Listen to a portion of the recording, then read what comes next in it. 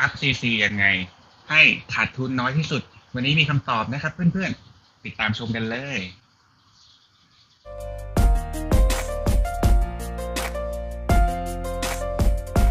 ฝากเพื่อนๆ กด Subscribe และกดกระดิ่งแจ้งเตือน เพื่อไม่ให้พลาดทริปที่ผมจะพาไปเที่ยวด้วยนะครับ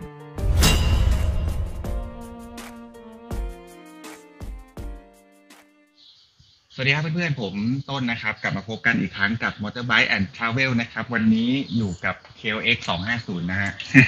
ไม่ใช่รถผมครับ รถของเพื่อนฝากไว้นะฮะ ก็วันนี้เรามาคุยกันเรื่องการอัพ CC นะ ว่าทำยังไงให้ขาดทุนน้อยที่สุดนะครับ ก็อย่างที่เพื่อนๆรู้กันในการอัพ CC แต่ละทีนะ ถ้าเกิดเราไปซื้อปกตินะ ขาดทุนยับแน่นอนเพื่อนๆ ก็ เดี๋ยววันนี้เอาสูตรที่ผมใช้มาเล่าให้ฟังนะครับ ผมก็ขี่รถมอเตอร์ไซค์มาประมาณ 5-6 ปีนะครับ ก็เริ่มต้นมาจากคันเล็กๆนะฮะนินจา 300 อัพ CC ขึ้นมาเรื่อยๆนะครับ เป็น CB 500X V Storm 650แอฟริกาทวินแล้วก็ทีเนเล่จนมาตอนนี้ขี่ R 1200 GS Adventure นะครับ ปี 2016 นะฮะ ก็เป็น เด็กคนหนึ่งที่ชอบขี่มอเตอร์ไซค์มาตั้งแต่เด็กนะครับ แล้วก็ได้มาทำให้ความฝันเป็นจริงตอนที่ได้มาทำงานนะครับ ก็ทุกๆคันที่ซื้อเนี่ยประมาณเอ่อ95%นะผมจะซื้อเงินสดนะครับ เพราะว่าไม่อยากจะผ่อนนะฮะเพราะว่าดอกเบี้ยมันค่อนข้างจะสูงมากนะครับ ก็อดใจไว้ซื้อเงินสดดีกว่านะครับ ก็เอ่อเริ่มต้นจากนินจา300 นะครับ ตอนนั้นก็ เเก็บตังค์เก็บตังค์ก้อนหนึ่งนะครับทำงานนี่แหละ แล้วก็ได้โบนัสก็พอดีอยากขี่มอเตอร์ไซค์อยู่แล้ว ก็เลยไป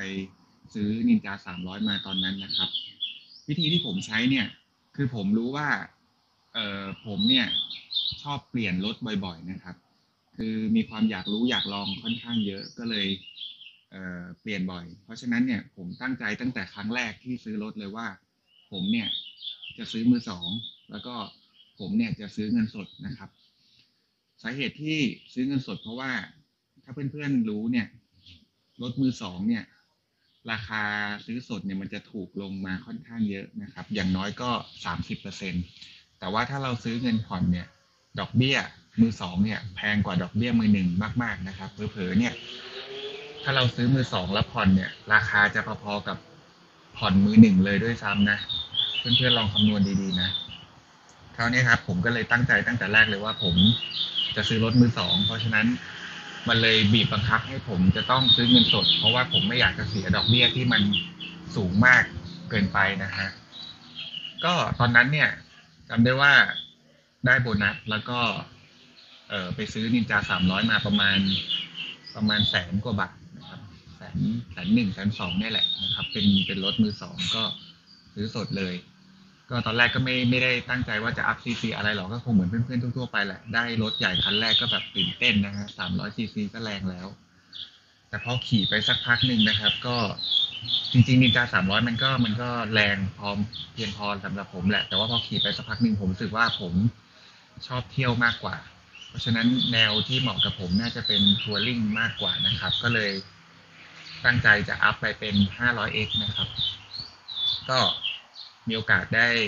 ใช้นินจา300น่าจะประมาณสักสองปีปีหนึ่งปีหนึ่งไม่ถึงสองปีประมาณปีหนึ่งนะครับ ก็ขายนินจา300ไป แล้วก็เพิ่มตังค์อีกนิดหน่อยก็ได้ CB 500x นะครับ แล้วก็หลังจากขับ 500x ก็ตื่นเต้นอยู่กับ 500x สักพักหนึ่งนะครับ มันแรงขึ้นอยู่พักหนึ่งหลังจากนั้นมันก็คุ้นมือชินมือก็รู้สึกว่า มันก็ธรรมดานะฮะ เหมือนขี่โซนิกก็ไม่ถึงขนาดนั้นก็รู้สึกว่าพอมันคุ้นมือแล้วก็ ไม่ได้รู้สึกว่าตื่นเต้นอะไรแล้วก็รู้สึก คุ้นเคยนะครับ ธรรมดาไม่ได้รู้สึกว่าแรงอะไร ก็อยากอัพซีซีขึ้นอีกครั้งหนึ่งนะครับขี่ 500x อยู่ประมาณสัก ก็ประมาณปีหนึ่งแหละนะได้ไปเที่ยวนู่นเที่ยวนี่มา ไมล์รถก็เกือบแสนนะเออ ซื้อมือสองด้วยแหละไมล์รถมันเลยไปเร็วนะครับ ตอนซื้อมาก็ไมล์ประมาณสักสองสามหมื่นนะครับ ขี่ทำงานทุกวันแล้วก็ขี่เที่ยวเยอะด้วยนะครับถ้าขี่ 500x อยเอ็กอยู่ประมาณปีหนึ่งก็ ก็อัพ CC ไปเป็น V Storm 650นย์นะครับ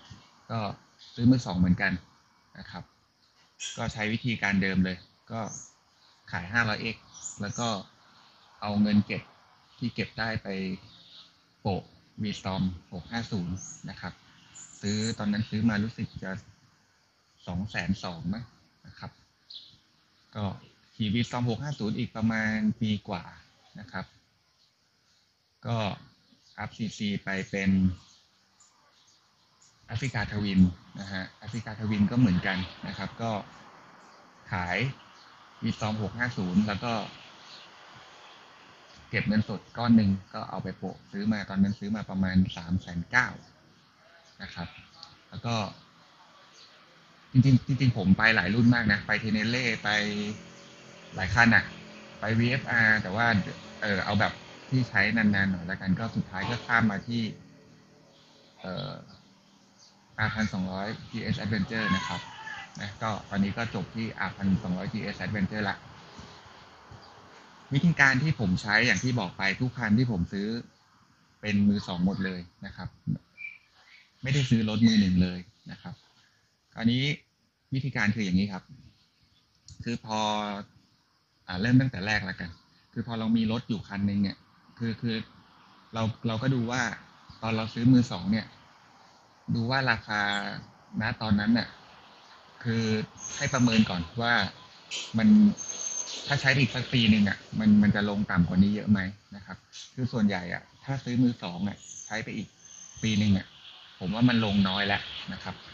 อย่างอย่างนินจาสามร้อยอะ ตอนผมซื้อแสนสองอะ ตอนขายก็ได้ประมาณแสนทวนทวนๆก็หายไปสองหมื่นเนาะปีหนึ่งแล้วก็ไปซื้อ 500x เนี่ยก็ซื้อมือสองเหมือนกัน ก็ตอนนั้น 500x ซื้อมาประมาณแสนต้นๆนี่แหละแสนสามมั้ง เพราะฉะนั้นเนี่ยเออส่วนต่างระหว่างแสนหนึ่งที่ขายนินจาสามร้อยกับอ่า 500x ที่แสนสามเนี่ย ผมเพิ่มตังค์อีกสามหมื่นซึ่งซึ่งระยะเวลาประมาณปีหนึ่งอะผมก็เก็บตังค์จากเงินเดือนสามหมื่นมันก็เก็บตังค์แค่เดือนละเท่าไหร่สามพันเองนะครับ ก็สามารถซื้อสด CB 500x ได้ล้วนะครับ ก็ใช้วิธีนี้แหละ คือ 500x เนี่ย ตอนนั้นก็ซื้อมือสองเราก็ดูว่า เออ แสนสามราคานะตอนนั้นเนี่ยถ้าอีกปีหนึ่งอะราคามันจะตกไปเท่าไหร่นะครับตอนนั้นโชคดีมากขาย 500x ไปรู้สึกว่าจะจะไม่ขาดทุนเลยด้วยมั้งก็ได้แสนแสนสองแสนสามนั่นแหละ แล้วก็ซื้อวีซอมหกห้าศูนย์เนี่ยสองแสนสองเนี่ย ก็ เพิ่มตังค์อีกเก้าหมื่นซึ่งซึ่งจริง ๆ แล้วอะ่ะ มันก็ถือว่าเราไม่ได้ขาดทุนจาก 500x อะ แล้วก็เราซื้อวีสองนะตอนนั้นเนี่ยก็คือกะว่าอีกอีกปีหนึ่งก็คงลงไม่เยอะนะครับ ก็ก็ใช้วิธีเนี้ยนะก็เก็บตังค์เก็บเก็บตังค์ส่วนที่ที่เราอยากได้ มามาโปะซื้อนะครับ ก็ใช้วิธีนี้กับทุกคันเลยนะฮะทำให้ แต่ละคันที่ซื้อเนี่ยบางทีประเมินพลาดอย่างวีซอม650เนี่ยประเมินพลาดเพราะว่าตอนขายวีซอม650มันก็ลงเยอะเหมือนกัน แต่ก็ไม่เป็นไร ก็ถือว่าเราเราได้กำไรขี่เนาะคราวนี้เออจริง ๆอะถ้าไม่ใช้วิธีเนี้ย มันก็ขาดทุนอยู่แล้ว ยิ่งยิ่งถ้าเราซื้อผ่อนเนี่ยยิ่งขาดทุนเยอะนะครับ คือ up ซีซีคันหนึ่งอะผมว่าอย่างน้อยอะถ้าเราซื้อใหม่ป้ายแดงมือป้ายแดงอะแล้วเราก็ต้องไปแต่งเพิ่มใส่ปี๊บใส่ crash bar ใส่อะไรอีกอะก็เป็นแสนขายอะก็ขาดทุนอีกอย่างน้อยก็ปีหนึ่งอะห้าหกหมื่นแน่นอน เพราะฉะนั้นเนี่ย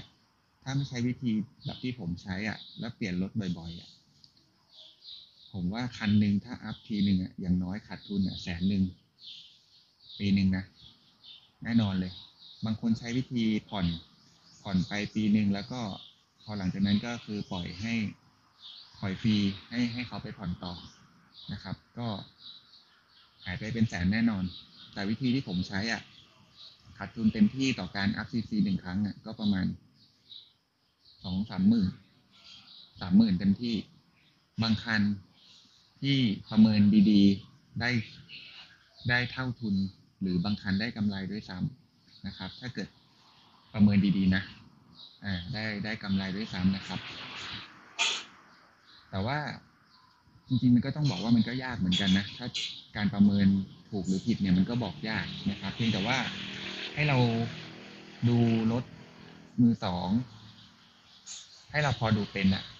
ว่าว่าสภาพมันเป็นยังไง แล้วเอามาดูแลต่อยังไงนะครับ ไม่เกิดอุบัติเหตุ ไม่ไม่โดนย้อมแมว ไม่โดนกอไม้อย่างเงี้ยก็โอเคละนะครับ ขาดทุนขาดทุนมันก็ขาดทุนน้อยเพราะว่ามือสองมันก็ลดลงมาแล้ว หลายเปอร์เซ็นต์เหมือนกัน อย่างน้อยก็สี่สามสิบสี่สิบเปอร์เซ็นต์ละนะครับ ประเมินเก่งๆเนี่ย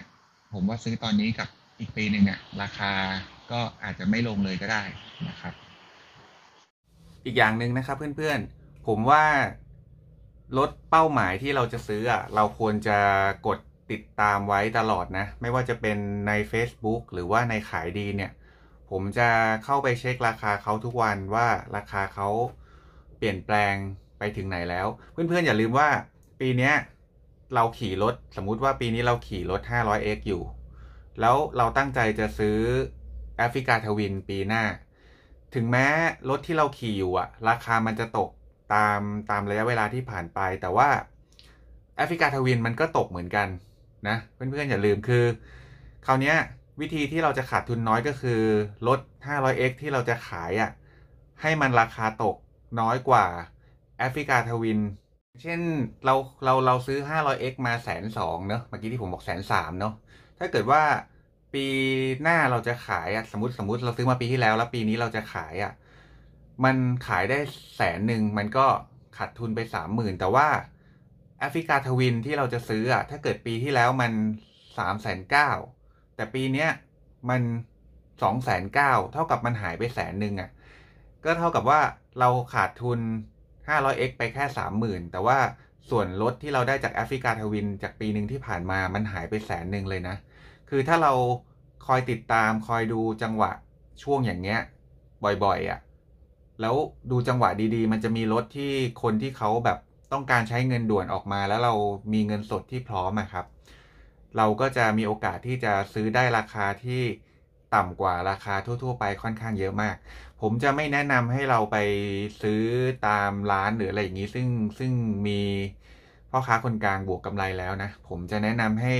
ไปซื้อกับเจ้าของรถนะครับ แล้วก็มีเงินสดพร้อมนะฮะแล้วก็เตรียมให้พร้อมแล้วเราพร้อมจ่ายเงินอะคือถ้าถ้า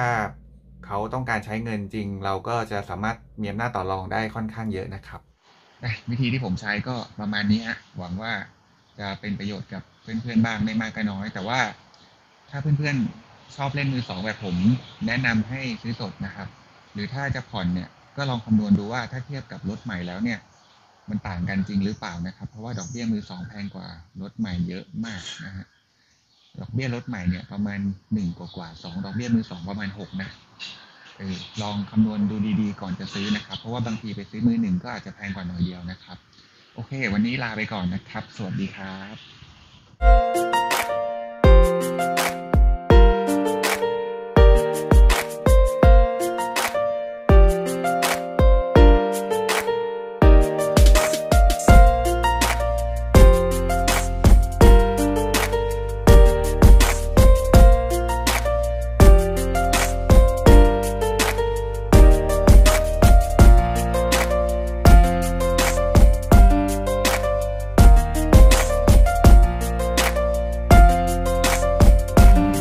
เพื่อนๆ กด Subscribe และกดกระดิ่งแจ้งเตือน เพื่อไม่ให้พลาดทริปที่ผมจะพาไปเที่ยวด้วยนะครับ